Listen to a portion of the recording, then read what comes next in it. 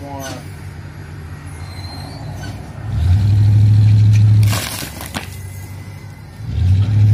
Oh. Taking the power line with it.